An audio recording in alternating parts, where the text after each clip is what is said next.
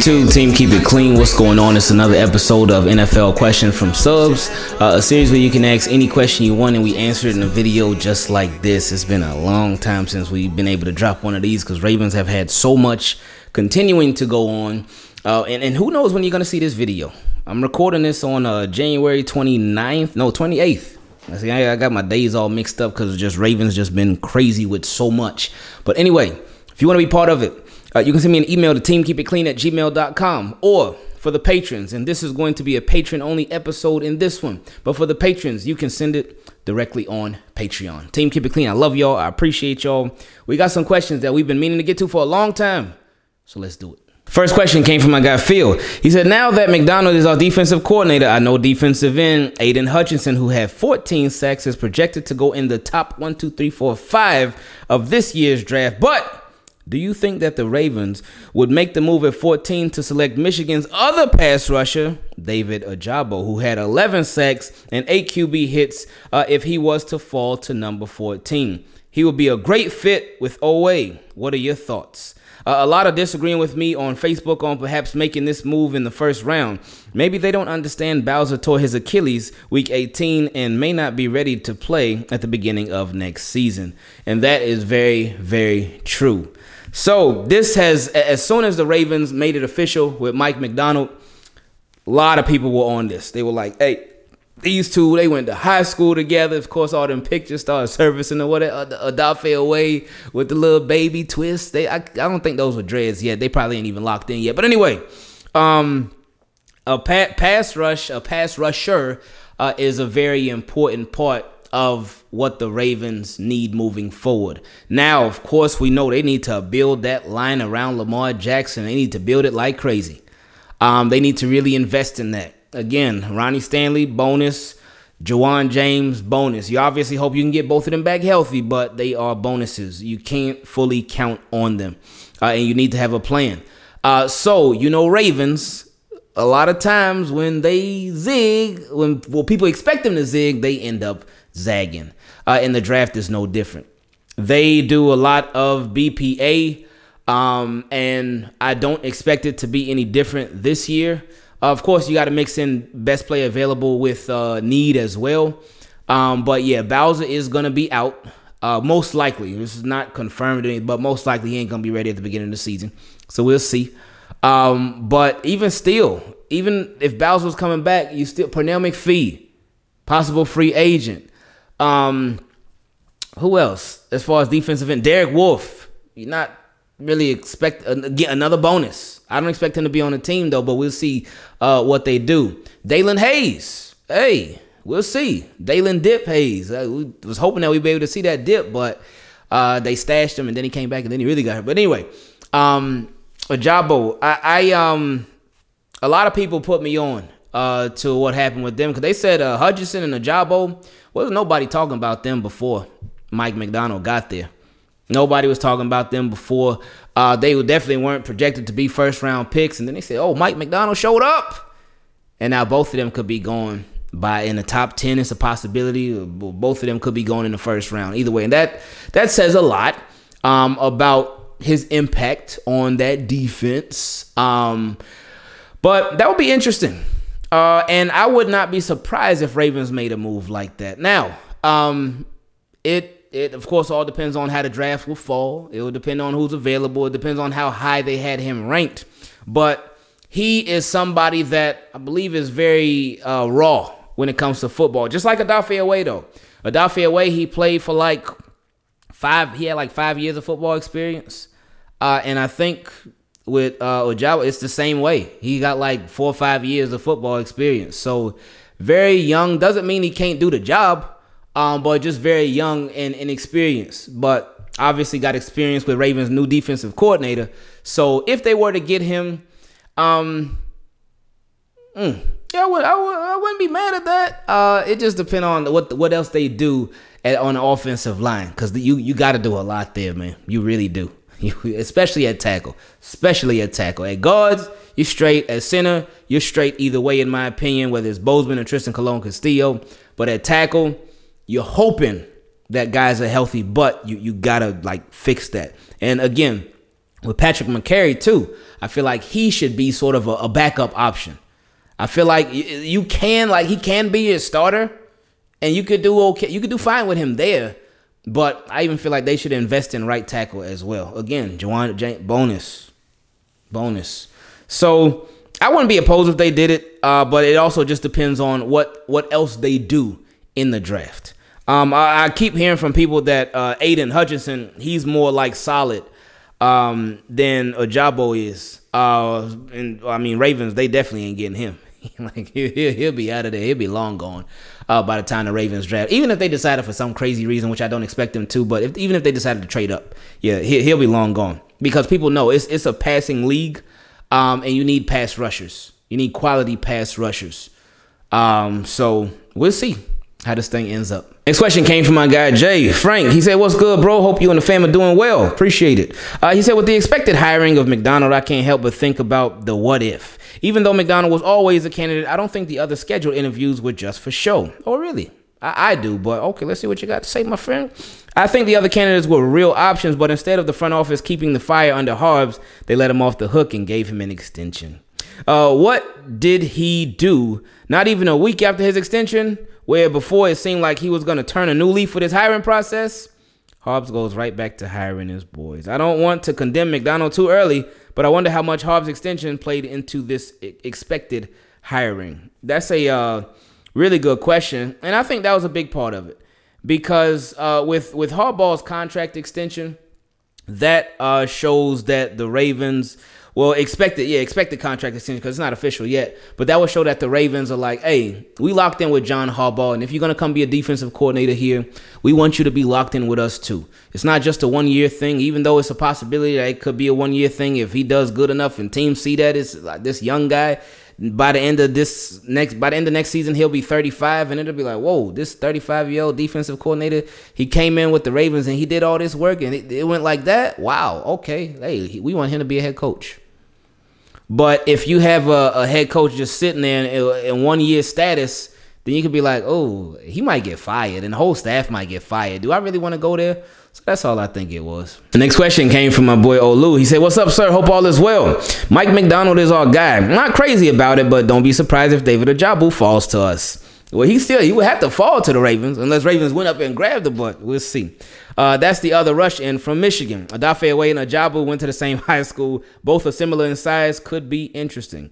They know each other. Both are very raw. Man, see, I wish I should have read this question first. Cause he's saying everything that we were saying too.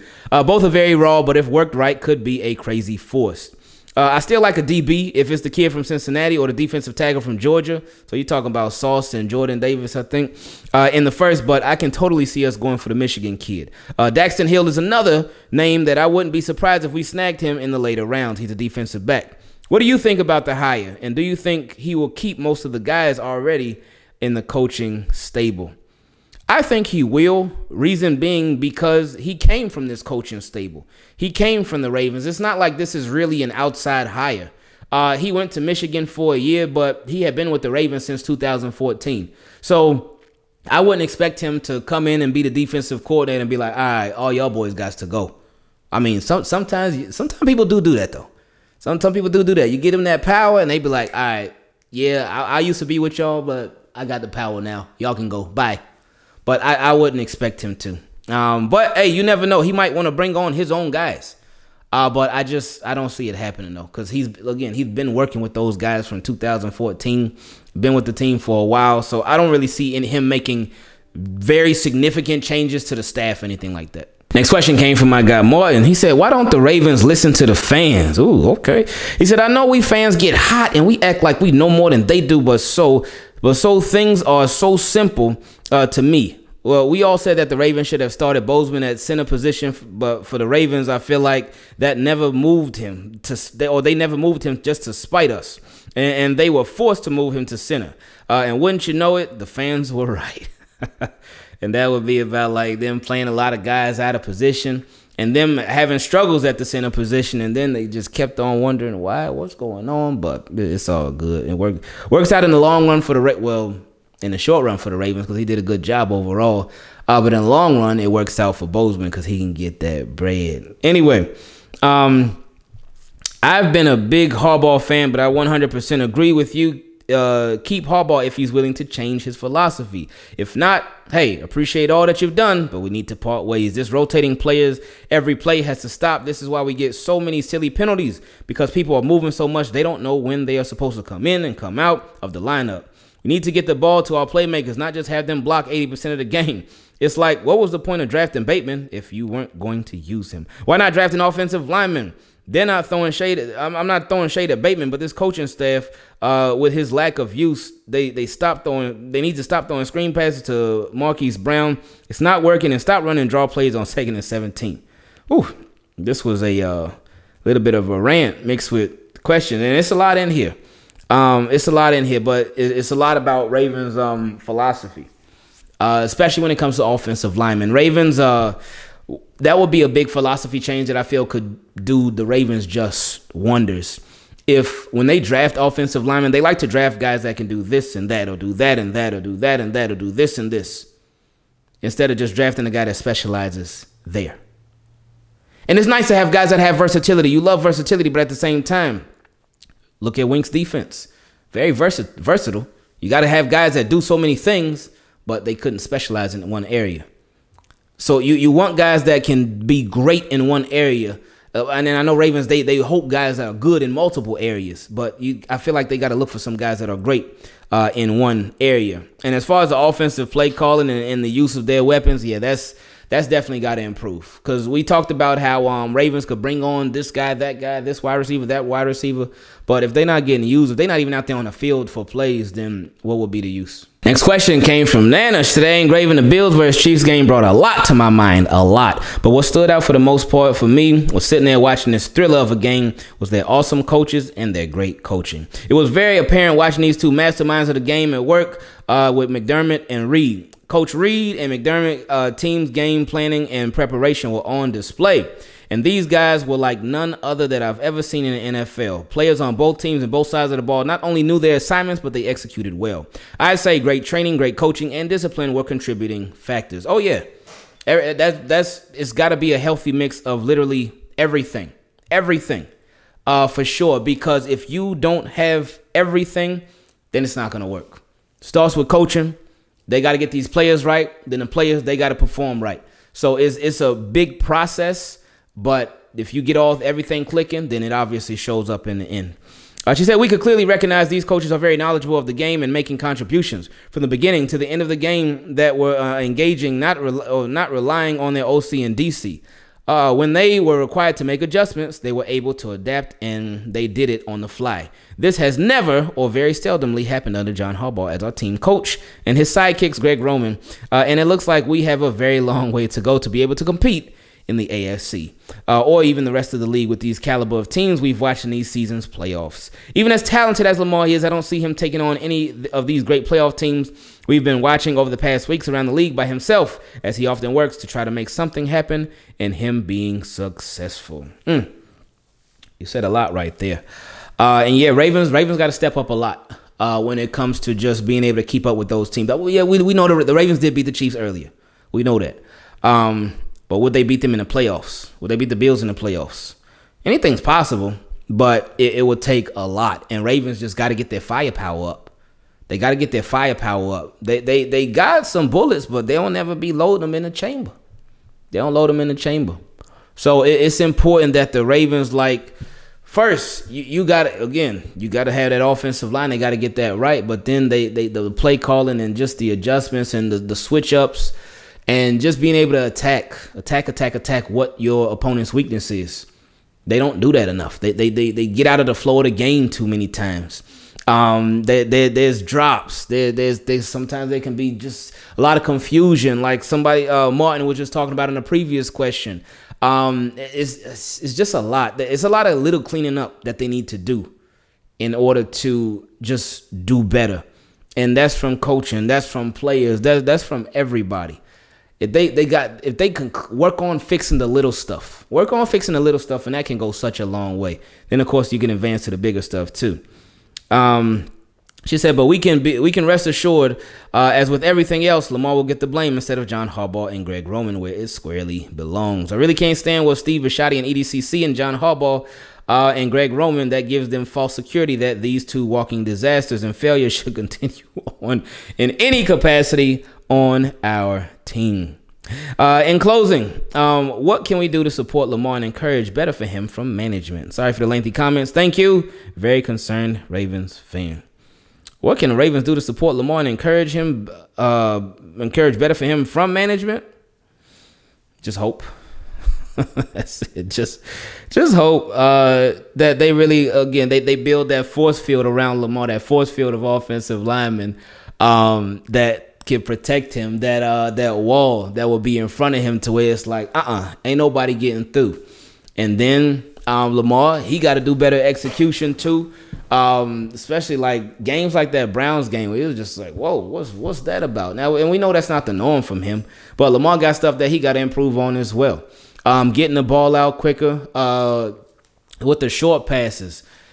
Really uh, putting it on the money for those short passes because they could be sometimes for it's it's weird because for short passes I know my guy Josh Hoffman brought it up too, uh, but for short passes sometimes Lamar can throw it like he could throw it a little too uh too out, too far, a little too wide, uh behind behind the uh, receiver pass catcher, a little too far in front of him. Um, sometimes uh we just got to work on work on that short pass, and that will go such a long way. It will go such a long way. Um, getting the ball out quicker, throwing the ball away, living to see another down. Not not having them. You don't got to make every single play on every single play. Sometimes you just got to get rid of it and be like, all right, we lost this down. It's okay. We'll move on. Um, and then of course with play calling, that's I feel like we talked about that so much. Uh, with, with play calling, it's got to be better. Um, play calling got to help your offensive line out. Play calling got to help your quarterback out. Play calling has to see like, all right, what are our weaknesses and how can we counter those? Oh, this next question came from Marco, and it was right after Wink had got fired, and you were so close, Marco. He said, Hey, Ingraven, I just saw your video of Wink being fired, and I don't know why, but the first thing that came up to my mind is Jim Harbaugh. And here's my question Have there ever been a situation where brothers are coaches for the same team? And do you see Jim and John coaching together with Greg since Jim is very familiar with him? Uh, and could that even be possible? Oh, you were so close. Because he got the guy from Jim's school, even though he used to work with John before. Um, oh, you were close. But it is possible. It is. That's why I say, you know what? you you might as well. You might as well bring Jim on too. Might as well, even though he would probably rather be a head coach, but might as well because it is a big this is one big family with the Ravens. So bring on Jim too. I'm sure he'll be at some of the games, man. but anyway, you said one thing I'm getting excited about now is that maybe we're having a, a new with a new defensive coach. Uh, there will be some changes that are being done. Thank you, and hope you respond to my question. Would like to know your thoughts. Yeah, that's what um we all hoping for now. That uh he can uh, just just make some small fixes. Um, let the pass rushers be pass rushers. Uh, give help to your guys. If you see somebody struggling, make adjustments like right away to try to help them. Uh, and just put players in best position so they could be successful as best they can out there on the field. Next question came from our boy Daddy Gaming. He said, What's good, bro Beans? I got an insane theory that I would love for your input on uh, with the recent Wink Martindale ousting. LOL. If you remember, Joe Hortiz, the Ravens director of pro personnel, uh, was a top candidate for the Giants GM open. It was believed that if he were hired for the job, he would bring Wink over with him. So maybe Harbs was planning on firing him to begin with. However, since the Ravens are a class act organization, Harbaugh might have wanted to wait to let him get that opportunity as Giants head coach. Turns out Joe Schoen from the Bills got hired as the Giants' new GM on January 21st at around noon, the same day Wink was fired. Oh. However, Wink was fired in the evening after Schoen got hired. Harbs probably discussed with EDC and Bisciotti for a couple hours about the possibility of Wink actually landing a head coaching job. Uh, they might have decided to pull the trigger right then and there because they lost hope in a team hiring Wink as a head coach in time since, as we all know, the Ravens want to get started on their offseason ASAP. Like, this firing is pretty late into January, and such firings are unusual. I agree. Anyway, this theory could be complete nonsense, but I think this is how it all played out. Let me know what you think. Wow, that does make a lot of sense. I oh, I didn't even think about that when all that went down. This is what I always say, man. Even if this isn't true, um, it is very. This is like great. That's why I always say you cannot be dismissive of Ravens fans and what they be thinking because they can put so much stuff together. And Ravens fans, they pay attention to so much. They pay attention to so much. I love this. Thank you for this. He said, always love watching videos. Really respect how decent you are as a person and the way you speak. You and your videos have had a real influence on my life. Uh, allow me to have an open mind. Keep cranking out these vids. Oh man, you ain't had to say all that, man. Got my eyes getting all watery and stuff. Nah, I, I, I appreciate you though, man. I ain't I ain't nobody, but uh, nah, I, I appreciate you watching. I appreciate you uh, supporting too, man. Thank you. All right, next question came from my guy Adrian. He said, "Do you think we really need to revamp our offense and defense, or do you think we fix minor details such as getting one or two more pieces on each side? I too much. I see too much bickering uh, between fans on what we need to do, and it's annoying. Lamar is fine. I believe Greg Roman asked him to do too much. That's why his longevity throughout the season hasn't been great since 2019. If Greg Roman runs a similar offense to what he has been doing for Tyler Huntley, I feel like we'll be fine. I agree." Um, a, a, little bit less Q, QB design runs. I, I, feel like the, the runs for Lamar should be if a play breaks down and Lamar like, all right, I'm out. In my opinion, and they can still have some in there, but just scale them back. Scale them back. We know that Lamar is Superman. He can do all this and all that. But I would love to see the Ravens offense be coached as to not having Lamar have to be Superman. I would love to see them try that. To see, all right, well, let's let's have some other people be the Supermans for our team. I, I would love to see that. Anyway, um, he says, uh, kill the oh, I should have kept reading. He said, kill the QB design runs. I hate them. Or take them to one or two a game, not eight. Then Greg will have his job at the end of next season. Uh, Wink is great uh, we need to fix the blitz. I think this might have been before he got fired. Uh, we need to fix the blitz on every down with Marcus Peters coming back and Marlowe mixing man and zone and the blitz will really confuse the opposite. I say we need a man on defense who prides nothing but tackling. Our defense has one major problem, and it is tackling. Oh, yeah, that was a huge problem for sure. I also think it's a, a lack of understanding, too.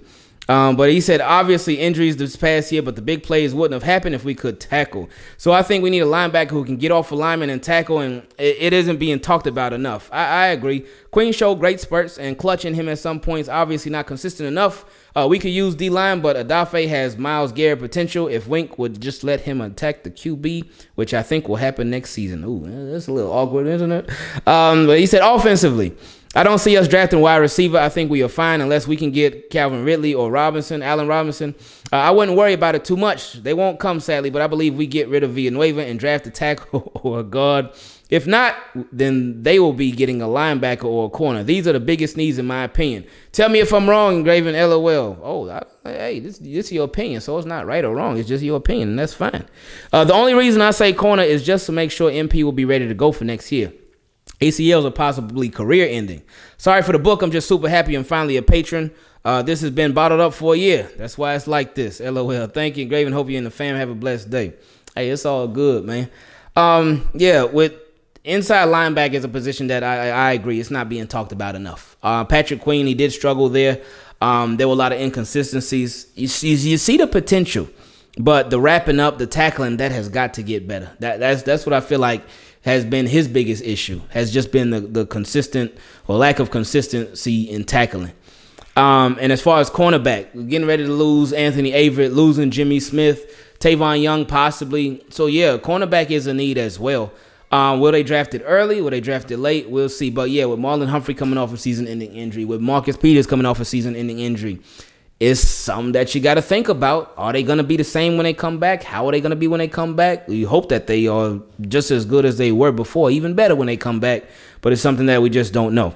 Anyway, he says, sorry again for my last question. LOL, you're the only guy I can talk to about our team. But my question is, do you really think we could have we could have a head coach come in and do a better job than Harbaugh has these past 14 years? Uh, he's been almost as consistent as Mike Tomlin, and he keeps our physical edge going on uh, with new coordinators, and he won a ring in the hardest conference for the past 14 years, considering he had to beat Peyton Manning and Tom Brady almost all 14.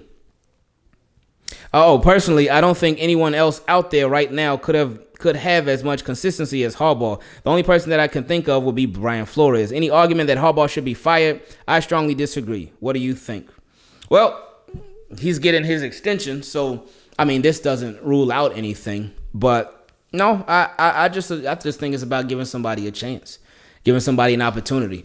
I, I am not one of the people that think that Harbaugh is the end all be all at coaching. I, I know a lot of Ravens fans feel like, oh, it's, it's, it's Harbaugh or nothing.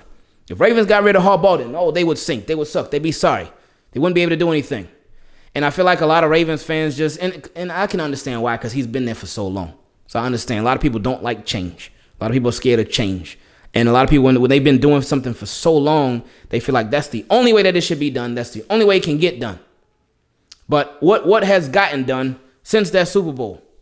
What has gotten done? Yes, we know his only losing season is technically when, when, a lot of people got hurt. But how many real winning seasons has he had? Nine and seven is technically a winning season. Ten and six is, is a winning season. It is technically winning seasons, but how much was really won in those seasons? There are people who could come in and, and do just the same job as Harbaugh, possibly even better. We won't know that until we know. But again, my thinking is that Harbaugh, Harbaugh's cool. He's nice, but he's not the only guy out there that can get a job done. Next question came from my guy Marco. He said, "What's good, Ingraven? Hope you're good." Oh yeah, yeah, we good. Two questions. Do you think the failed two point conversions will play a role in Harb's decision on Giro? Hmm. Or what decision? A decision to keep him, or them possibly letting him go? But either way, no. I don't. I don't think it plays any role. I think that's more Harbs than anything. Um, and he said, secondly, do you think Jim Caldwell would be a candidate for the offensive coordinator position? Nah, I I don't. I, oh I, yeah, I don't think they move on from Giro in that case. I think Giro is not going anywhere. Now, what's weird is that um, he didn't get announced for a presser. I mean, they they do announce presses, and then they have people that end up talking in those presses anyway. But Greg Roman didn't get announced for a presser, season-ending presser. John Harbaugh did. The new defensive coordinator Mike Macdonald did, and Eric DeCosta did. But none from Roman. So just something to think about. But also none from the special teams coordinator. So and he he ain't going anywhere. So yeah, we'll we'll we'll see. I wouldn't really read too much into it like that, but we won't know till we know. And the last question was sort of comment or recommendation came from my boy Calm City. He says, start your draft preview with wide receiver Christian Watson. Uh, he went to the same school as Carson Wentz. He's 6'5", 210, and he can jump. Uh, look at look him up on YouTube. This kid is everything that we need. Well, does he play with aggression? Does he go and get it? does he just wait for the ball to come to him? I feel like we need that this big body wide receiver who's going to be aggressive, who's going to be nasty, and who is going to fight for that ball, who is going to reach out and get it, not just wait like, oh, okay, it's, it's on the way. Okay, here it comes. No, reach out and go get it and take it. If he's that, hey, bring him on. And this last question, it, also comes from my guy Martin, and appreciate all the patrons who participated in this episode. A question from subscribers, but he had just sent it, and I haven't edited the video, and we made it a couple days ago, but stuff still been crazy busy. Uh, but I decided, I said, you know what, let me just add it in here. But anyway, last question came from my guy Martin. He said, Man, I'm so disappointed with this Ravens team. I, I really went and thought the Ravens should go out and hire Brian Flores, uh, since to this point, no one has hired him after the way he shut down Lamar in this offense. You think it would be beneficial to have this guy uh, on the staff. So Lamar has to face his defense every day in practice and can learn and grow. Well, that's an interesting way of looking at stuff. Uh, but instead, uh, we, oh, yeah, but instead, uh, we have to play it comfortable and hire people we know. Also, I feel like Harbaugh doesn't want guys like Flores on his staff, not because they are a threat to his job, but because he knows they will just be taken as soon as the season ends. Then he'll have to look for another defensive coordinator or offensive coordinator. But that's what happens when you build a Super Bowl team. Other teams want your guys. Yes, I love that. I love that and I appreciate that so much. Anyway, he said, um, we should be looking to build a Super Bowl team, not a comfortable, well, we tried team. And people giving the injury excuses this year need to wake up because guess what? People are going to get injured next year too. Especially after so many people are coming off of injury. You can't expect to just start the season completely healthy from start to finish. No, I don't think anybody expects that, but it it next season cannot be anything like last season when it comes to injuries. It's just impossible, ain't it? Oof. I just that that can't happen. Uh, anyway, he said also, side note, maybe the Ravens did give Brian Flores a call he turned them down. If that's the case, I can see why they wouldn't say anything because they wouldn't want the flock uh, harassing Brian Flores because he didn't want to be our defensive coordinator. But knowing our front office, they didn't even make an attempt. No, and I, I think with um with Macdonald, uh, we just, I mean, we really got no choice but to, but gonna give him a, give him a fair shot. Give him a fair shot. I, I do understand your frustration with them um, making the comfortable move, uh, and we just hope that because not every comfortable move is always the best move. Um, but it is somebody who Harbaugh trusts.